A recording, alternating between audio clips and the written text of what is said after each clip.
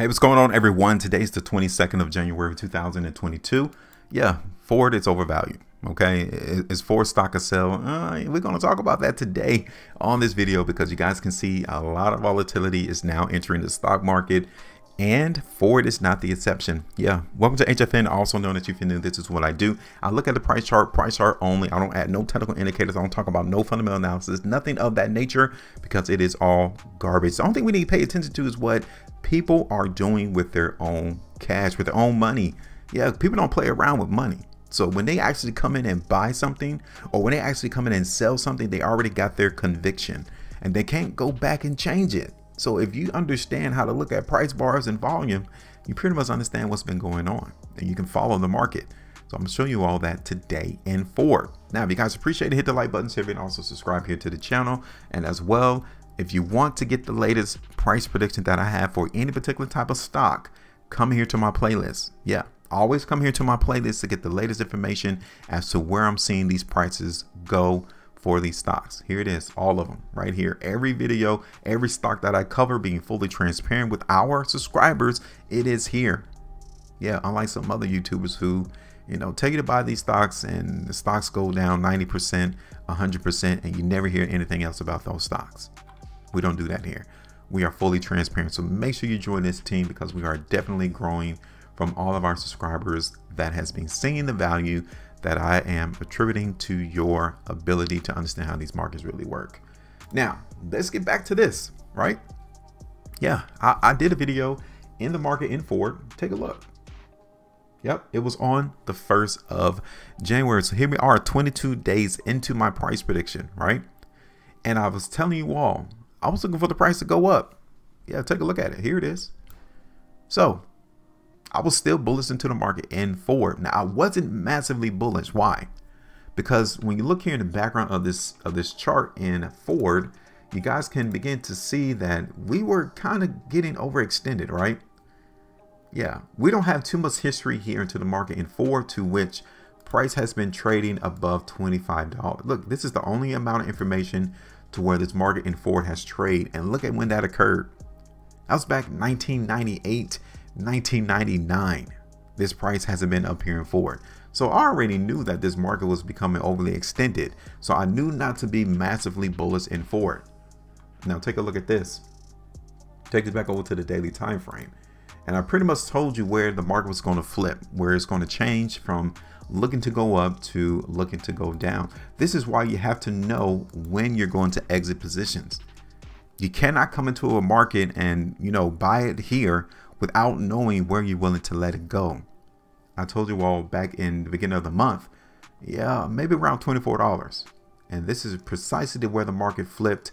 And here we are today down there around $20.65. See, you got to let it go because that's 11.89% right there.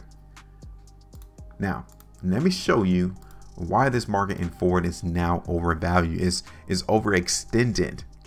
Because when you look at the trend, right, look at this. Ford has been in a very good bullish run. No doubts about it. Charts doesn't lie. Look at this. We started this back in May of 2020. About two years. This is what a bullish market looks like. Okay, a long-term bullish market. Now, some YouTubers want you to hold stocks for 5, 10, 15 years, but holding this stock from May 2020 to today, you saw some pretty good gains. But at what point do you need to let those gains go and actually lock them up and put them in your account? That's a very good run. Whoever controls the market in Ford did a fantastic job of moving this market up over the last two years. They did a great job. Now, I want you all to see this though. If we look at where this trend started, right? If we look at this horizontal line, well, it's not horizontal, this vertical line here in the market in Ford, you can see how overextended we are. Price needs to come back down and test and come back into relation to this trend. That's about 27.5%. And this breakout massively started back here in September of last year. Yes, so can we see this price in Ford come all the way back down to this trend and test it? We sure can. We cannot act like that's not a possibility. It is, especially when we saw a massive run up back here in September of 100%. the market needs to come back down. It has to. Nothing goes up into perpetuity. So let's look at this then. Okay.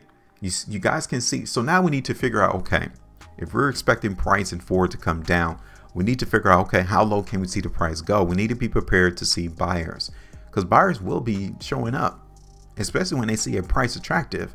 They're going to show their hand. We don't have to worry about it. They will show up and let us know where they are buying. So all of this high volume down here, right? Seeing how the market is now coming down is indicative of selling.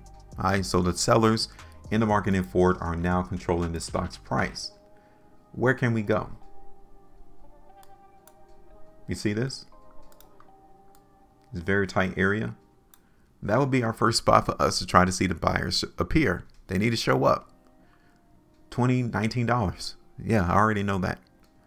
Now, once I transition over this time frame to a longer time time frame, let me see what we got.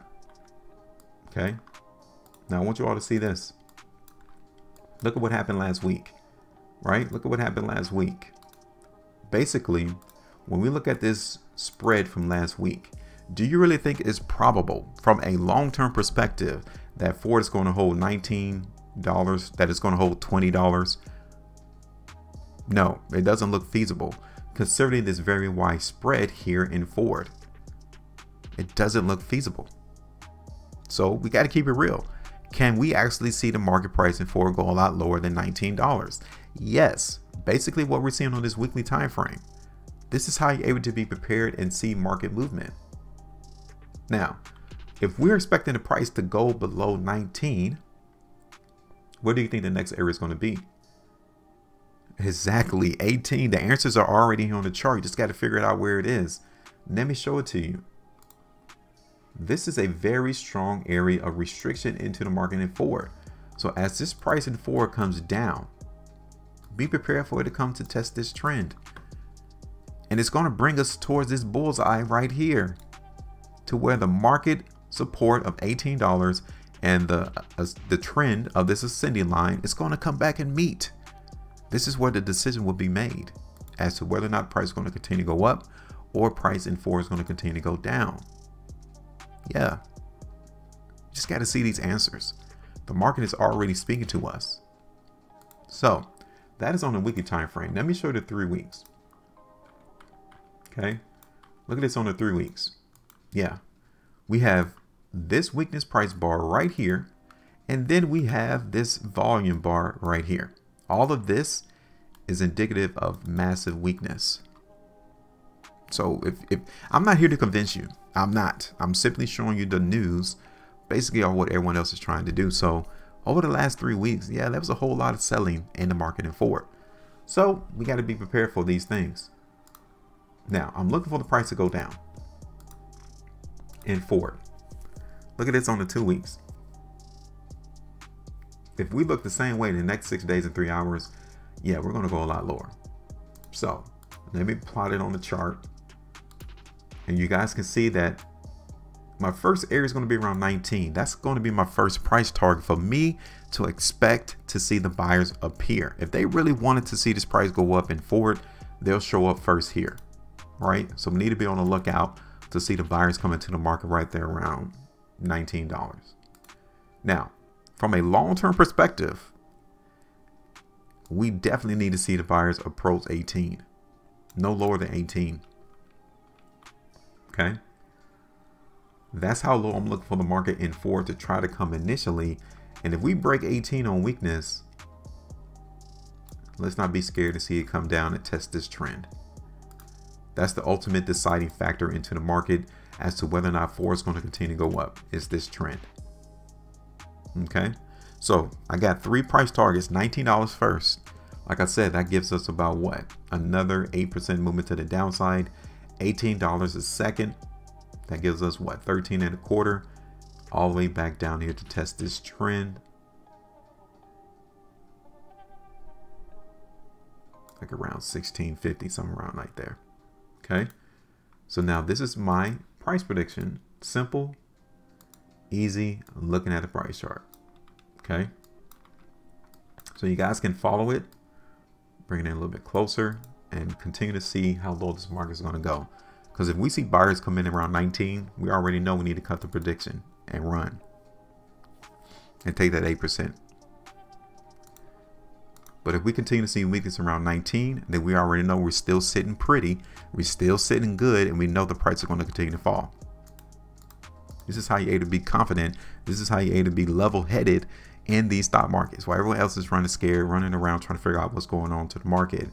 You have someone, a reliable source that you can actually expect some price movement. So now it's your turn. It, give it a try. You know, just look at the price bars and the volume and see what it is saying to you. You got to trust your instincts because the market is not lying. You just, to, you just simply need to see it and follow what it is saying. So now put it out in open. Yeah, put it out in the public and tell everyone what your price target is in the market and forward as we go into the month of March, as we go into the month of March and April. All right, I'm done. Now it's your turn. Hit me up. Make sure you maintain a profitability. And as always, trade different.